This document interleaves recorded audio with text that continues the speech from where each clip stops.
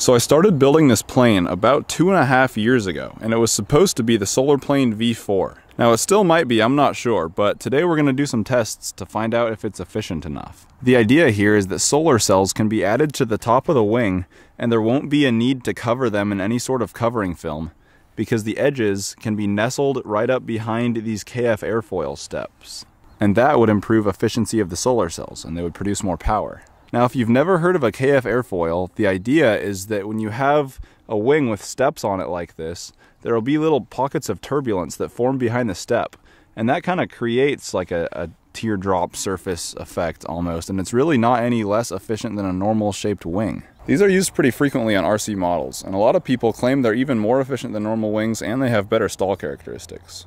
The whole thing is made out of 6mm Depron, and it's got a 5010 360 kV motor. It's the same motor that the Solar Plane V3 has. And it's got this big folding prop, and I machined this adapter that allows you to connect folding prop blades onto a multi-rotor motor. Each control surface just has two 9 gram servos, and then underneath the hatch here, it's got a magnet hatch and in here, I've just got two batteries just to get the CG right. Um, if I do end up putting solar cells on this, I'll probably need to extend the nose out so that I can get the battery, a smaller battery further forward. But right now it's pretty tail heavy, so I had to add this extra battery in there just for weight. Before we get to the flight, I'd like to thank ExpressVPN for sponsoring this video. ExpressVPN allows users worldwide to protect their privacy and security online with just a few clicks. More about them later. flies. Wow, flies pretty well. Wow, it's really graceful. Might be a little tail heavy still. This thing is super graceful. Look at that.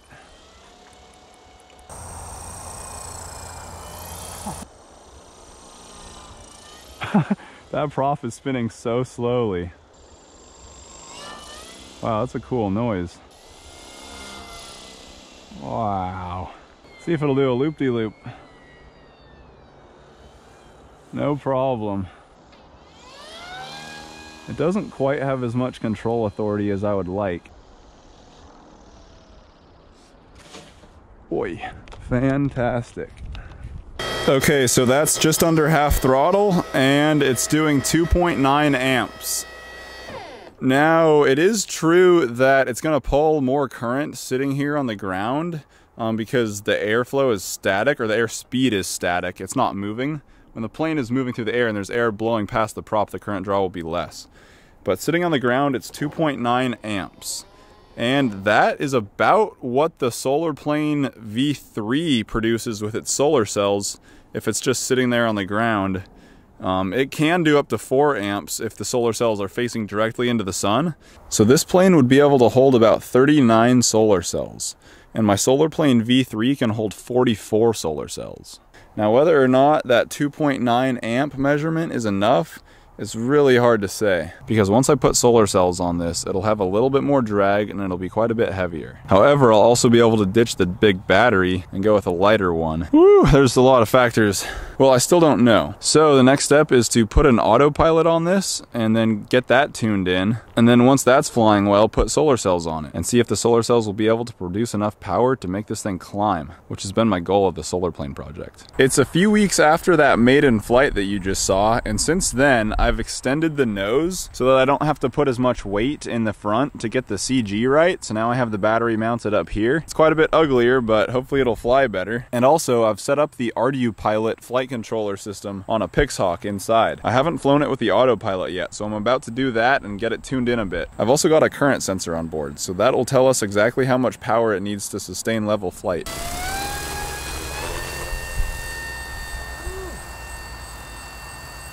Why is it flying so bad? It's also windy, so that doesn't help. Oh wow, I switched into fly-by-wire A and now it's doing a bit better. That was a scary launch though. I think it's really tail heavy still. Yeah, it's barely flyable in manual mode. Uh, since the prop is so big, the motor torque has a lot of effect. Whew. That was unintentional.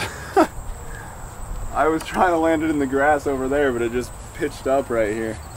has some interesting flight characteristics. Okay, so now it's in return to home mode and it's just circling the home position. And it's very obvious that this plane is really bad at turning. It's probably partially in part because the CG is way far back. It's it's too tail heavy, but I wouldn't be surprised if it also had something to do with the weird vertical stabilizers on it. And probably the fact that there's a huge propeller and a lot of motor torque. I'll figure that out later, but for now it seems to be doing well enough. Let's go over here and take a look at Mission Planner. You can see that it's kind of struggling a little bit to hold a nice clean circle, but it's doing all right. So now I've got it doing a simple little waypoint mission that I set up. It definitely looks like it's kind of wandering quite a bit, having some trouble holding a straight course, but that just could be because of the wind. I'm not completely sure yet. It's also overshooting the corners quite a bit, but I think that's normal for planes. I have no idea what it's doing now. Oh, that's weird. Well, I think this just shows it needs more tuning or uh, physical adjustment to make it turn better. But either way, it is getting to the waypoints, so it is sort of working. So the average current draw is varying quite a bit depending on whether it's going into the wind or downwind, but it seems to be maybe on average around 2 amps, which is really good. Maybe even a little less than 2 amps, which is pretty amazing. So this thing seems to be like a really efficient plane, which is surprising due to the fat aspect ratio. So I've started a larger waypoint mission and it's pretty clear that it's not doing too well at holding its course. It's definitely wandering quite a bit, but it is still pretty windy, so. I went up even higher now and it's just creeping along into the wind, moving so slowly.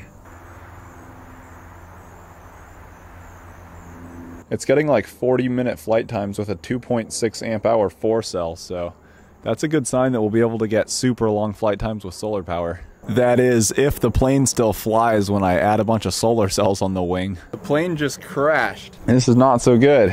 What happened is I tried to go into a dive to lose altitude pretty quickly. It wasn't a super steep dive. It was still in uh, fly-by-wire A mode, so it was just whatever the min tilt angle is set to. So I think that was like 30 degrees. So I think it was like a 30 degree dive but it just completely lost all control authority on the, I think the pitch and the roll axes. And then I couldn't pull up because I had no servo control. So then since I couldn't pull up, I tried pulling down and then it went down somewhere over here while I was pretty inverted. I'm hopeful that it's not too damaged because it hit the ground at a pretty shallow inverted angle. Where the F is that thing?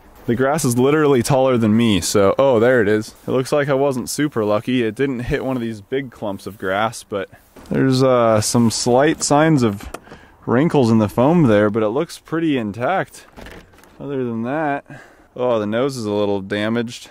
Got a bit of a rip in the tail there, but that's an easy fix. Well, I'm gonna take this thing back to the shop and fix it up. In the next video you see of it, it very well may have solar cells on the top. We'll see.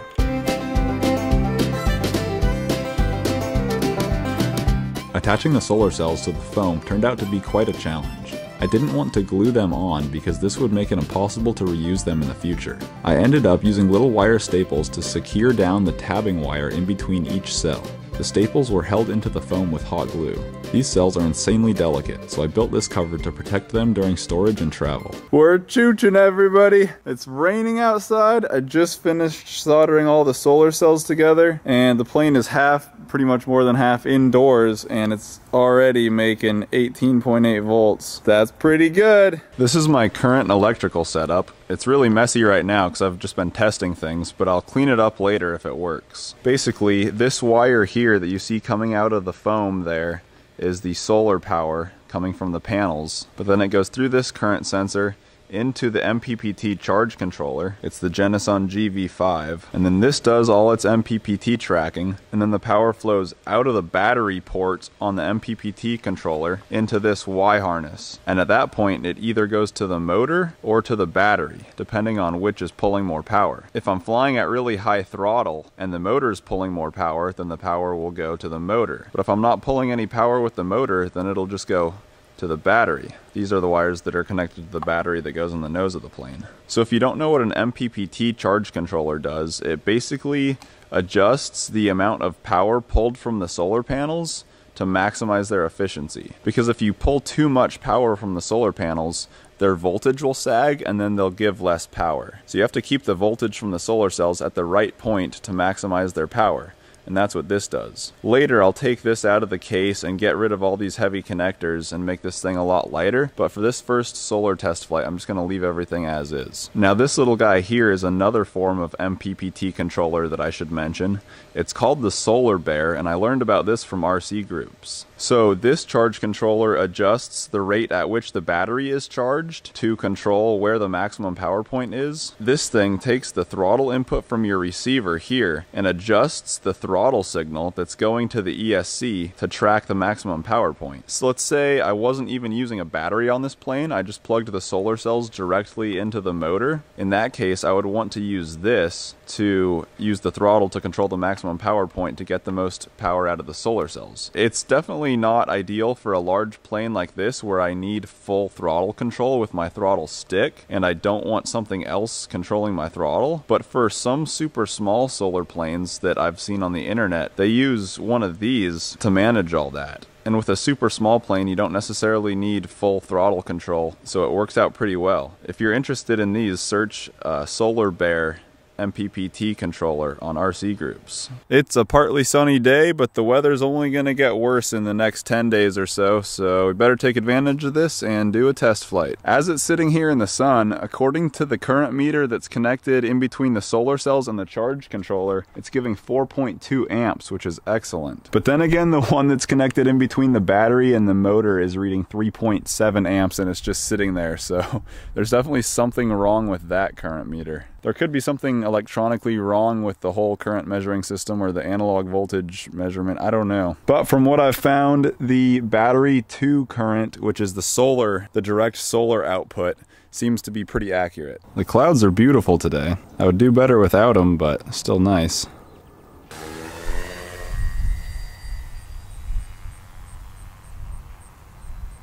So we're in the air and flying autonomously, which is great, but unfortunately a lot of the data we're getting back through the telemetry link is garbage. Ever since I Okay, so I'm cutting myself off right there. I go on to explain what I thought was wrong, but I now realize that the power modules I was using are only rated for 4S, or 18 volts max, and the solar panel was outputting voltages in the mid to low 20s. So this could have screwed up one of the power modules or damaged the PixHawk's ability to measure analog voltage. I also realized that the voltage readings are likely swapped, because if the 4S battery was actually getting up to 18.4 volts, it would probably blow up. So for that reason, I think this is the solar voltage pre-MPPT, and this is the battery voltage. Now I also got the idea that the current sensing calculations could have been using the wrong reference voltages since they were swapped, but this seems unlikely because I think the current is converted to an analog voltage in the power module before it's sent to the PixHawk. But there's definitely something wrong here. Maybe the PWM output from the MPPT controller is screwing up the power module somehow. This could happen if the current sensor is sampling at random points in the PWM duty cycle. I'm not sure. The sun is kind of going in and out of the clouds here, which isn't great. But it seems like our voltages are remaining pretty constant, which is an indication that this thing is flying on 100% solar power. So that's cool. Like I said before, this is all wax, so I shouldn't trust it at all. But from what I can see, it looks like it's working really well. Now, it has been suggested to just use one current meter that's right in front of the battery so that if the battery is charging, the current will be negative, and then if the battery is giving power, the current will be positive. And I tried that, but ArduPilot won't do negative battery currents, so that didn't work. Now, if we assume this battery voltage measurement is correct, then it definitely looks like this plane is flying on 100% solar power, because over the course of the hour-long flight, the voltage just bounces around between 15.8 and 16.7. The battery is full at 16.8 volts, so it never even got that low. This is pretty incredible considering that there was cloud cover for 40 to 50% of the flight. Thanks again to ExpressVPN for sponsoring this video. I buy a lot of solar plane parts online, and without a VPN, credit card information, and personal data is wide open to hackers. So, I use ExpressVPN to encrypt my internet connection and keep all my data safe. It's super easy to install and use. Turn on the service and secure your connection with just one click. ExpressVPN is consistently faster than other VPN providers, and they offer server locations in over 94 countries, giving you plenty of options to choose from. Get three months free with a one year package. That's less than $7 per month, and they have a 30 day money back guarantee. Visit expressvpn.com slash rctestflight to learn more. So it's been in the air for about an hour now? Oh, f- Oh, f- Oh, f- Oh, f- Oh my god. It oh, that was so bad. It just crashed. Ugh, I'm such a idiot. I thought that I would just be able to set the minimum pitch angle to something really low, like 15 degrees, and then it would never dive fast enough for the control to get lost again. Holy shit, that rabbit was fast. But it was still on autopilot. I just manually lowered the altitude through Mission Planner, but it built up enough airspeed to lose control. I'm an idiot. I should have fixed that. This is a mess just blackberry needle bushes and oh god it's so tall. I have to go way over to the other side. Ow. I definitely feel like the world's biggest idiot for not learning from my mistakes the first time it crashed. These push rods and servos are just too weak and this is what I get. So that absolutely sucks because putting all these solar cells on is a time consuming process and they're relatively expensive. So I'm not happy, but at the same time this airframe is way simpler and took way less time to build than the solar plane v3 so i would much rather have this one crash than that one. It does look like it could be fixable if i just replace a lot of the solar cells and glue the foam back together. So i'll look at the little bit of data that i do have from the flight see how it performed and then make a decision on whether or not i should fix it up. So unfortunately the pixhawk didn't record a flight log for some reason so we don't have detailed flight data but I did measure the battery voltage after I got the plane back, and it was basically full, which is incredible. This is even after it was sitting on the ground with the motor twitching and trying to spin for about 15 minutes while I was searching for the plane. I know for a fact that the solar cells were not charging the battery at the time the plane was sitting on the ground after the crash, because the solar circuit was broken here where one of the panels got completely ripped out. This is concrete evidence that the Solar Plane V4 was entirely successful, and I finally achieved the goal of the Solar Plane project after the last four years of trying. So that's super exciting. I think there are two main reasons why this plane worked better than the Solar Plane V3. First, the solar cells are not covered with film, which improves their performance. Second, it's lighter than the V3, but still has nearly as many solar cells. Despite having met the goal, the project doesn't end here. The next step is to fix this plane or build a completely new one with what I've learned, and then wait for next summer to come around and do some ultra long distance flights. So stay tuned for that. Thanks for watching, bye.